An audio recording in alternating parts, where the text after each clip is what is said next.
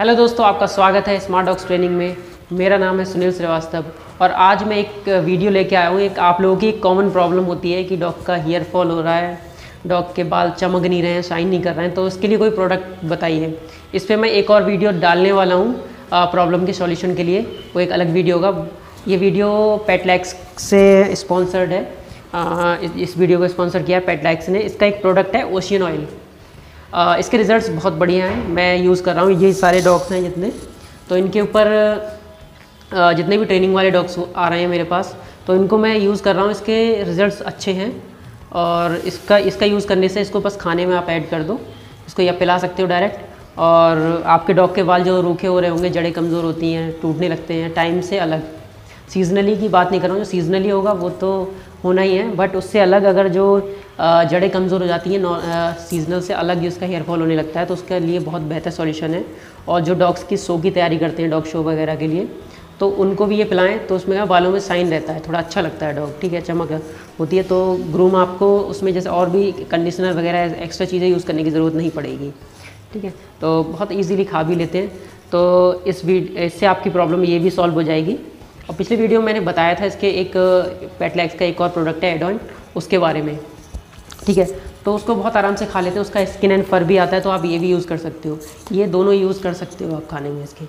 ठीक है? तो बहुत आराम से खा भी लेते हैं, कोई प्रॉब्लम नहीं आती है। किसी भी डॉग्स को अगर खिलाते भी हो आप तो। ठीक है? तो आप यूज़ करो भरोसेमंद प्रोडक्ट बढ़िया है। और आराम से डॉग इसको पसंद करते हैं खूब। ठीक है, मैं आपको दिखा दे रहा हूँ। इसके टेस्ट के लिए डॉग बहुत आराम से खा लेते हैं, इसमें कुछ प्रॉब्लम्स भी नहीं आती हैं। इसको फ़ूड में मिक्स कर सकते हो, ठीक है? टेस्ट के लिए मैं आपको दिखाता हूँ। ठीक है नॉर्मली ऐसे खिलाने के लिए इसको।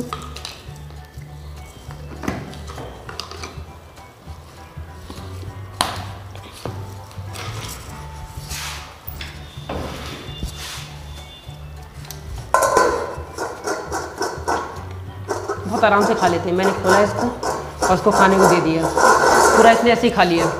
तो टेस्ट में कोई प्रॉब्लम नहीं है। तो है, ये प्रोडक्ट भी बढ़िया है। ठीक है?